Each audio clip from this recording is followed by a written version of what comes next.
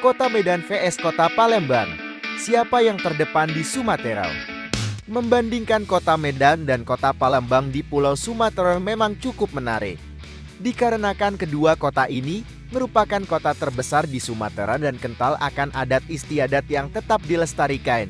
Selain itu, Medan dan Palembang memiliki kesamaan dalam segi pembangunan infrastruktur yang sangat cepat di Pulau Sumatera. Medan punya bandar udara internasional Kuala Namu yang modern dengan kereta sebagai sarana transportasi. Palembang ada kereta ringan atau LRT yang mengitari kota sampai ke Bandara Sultan Mahmud Badarudin II. LRT ini sendiri satu-satunya di Indonesia. Untuk gedung bertingkat yang di atas 12 lantai, Medan jauh lebih banyak. Di Medan sudah ada gedung pencakar langit dengan ketinggian 38 lantai, yakni The Manhattan Tower.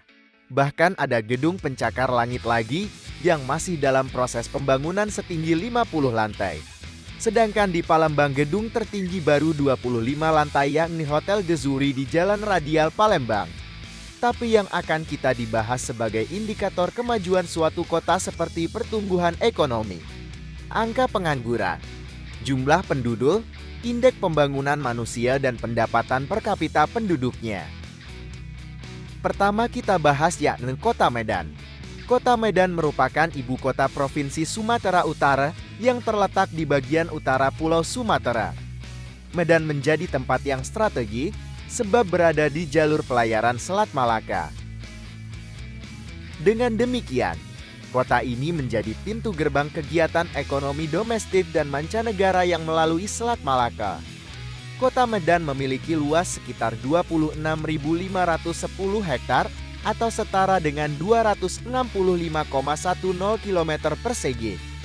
Beberapa sungai yang mengaliri kota Medan adalah Sungai Belawan, Sungai Badar, Sungai Sikambing, Sungai Putin, Sungai Babuan, Sungai Deleng, Sungai Sulang Salim, Sungai Kara, dan Sungai Tuntungan. Pemerintah kota ini juga telah membuat kanal besar dengan nama Medan Kanal Timur agar dapat mencegah banjir di beberapa wilayah kota Medan. 1.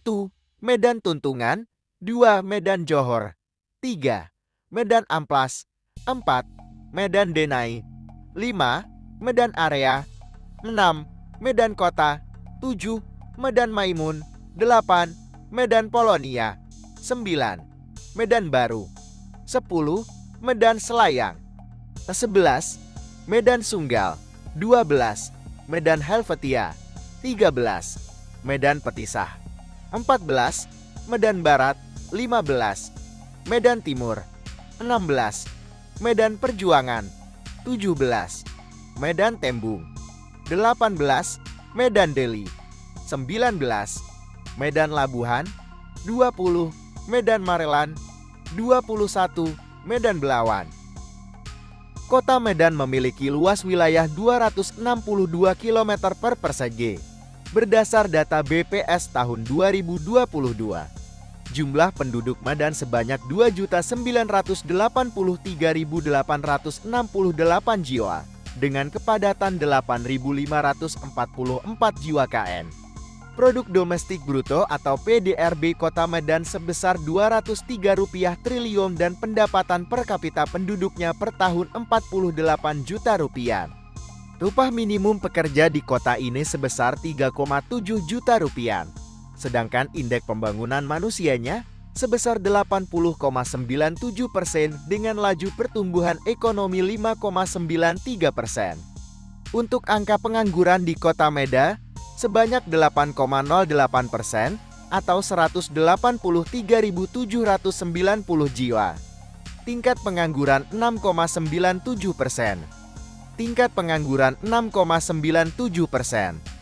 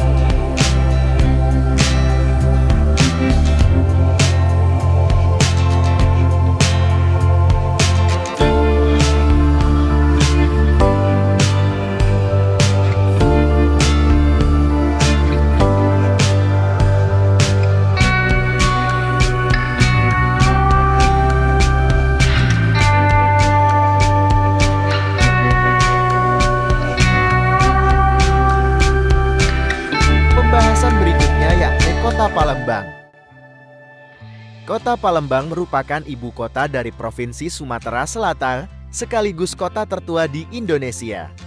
Sebagai salah satu destinasi pariwisata, Kota Palembang terkenal dengan kuliner pempek dan jembatan Ampera yang terbentang di atas Sungai Musi. Letak kota Palembang juga cukup strategis karena dilalui oleh jalan lintas Sumatera yang menghubungkan berbagai daerah di Pulau Sumatera. Dilansir dari publikasi Kota Palembang dalam angka tahun 2022 yang dirilis oleh BPS. Luas Kota Palembang 400 61 km persegi dengan jumlah penduduk kota Palembang 1.708.413 jiwa. Kota Palembang dipimpin oleh wali kota. Secara administratif terdiri atas 18 kecamatan dan 107 kelurahan. 18 kecamatan di Kota Palembang meliputi 1. Kecamatan Ilir Timur 1 2 Kecamatan Ilir Timur 2 3. Kecamatan Ilir Timur 3 4. Kecamatan Ilir Barat 1 5 Kecamatan Ilir Barat 2 6. Kecamatan Bukit Kecil 7. Kecamatan Kemuning 8. Kecamatan Sukarami 9. Kecamatan Sako 10. Kecamatan Kalidoni 11. Kecamatan Seberang Ulu 1 12. Kecamatan Seberang Ulu 2 13. Kecamatan Gandus 14. Kecamatan Sematang Borang 15. Kecamatan Alang-Alang Lebar 16. Kecamatan Pelaju 17. Kecamatan Kertapati 18. Kecamatan Jakabaring Kota Palembang dibelah oleh Sungai Musi menjadi dua wilayah yaitu Seberang Ulu dan Seberang Ilir. Selain Sungai Musi, terdapat tiga sungai besar lainnya yang melintasi kota Palembang yaitu Sungai Komeri, Sungai Uge, dan Sungai Keramasan. Keempat sungai besar tersebut memiliki ratusan anak sungai yang dahulu menjadi jalur transportasi ke daerah pedalaman. Kini, sungai-sungai tersebut mengalami perubahan fungsi antara lain sebagai drainase dan untuk pengendalian banjir. Untuk kepadatan penduduk kota Palembang yakni 4.722 jiwa per kilometer.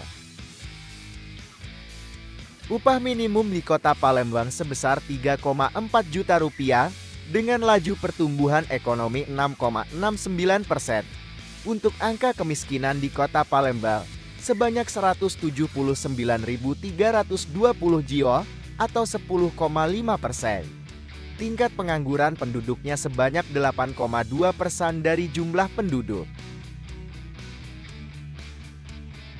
Visi dan misi Kota Palembang tahun 2018 sampai tahun 2023. Palembang Emas Darussalam tahun 2023 yaitu Elot, Kota Palembang memiliki lingkungan yang bersih, indah, hijau, tertata sehingga nyaman, dan layak huni.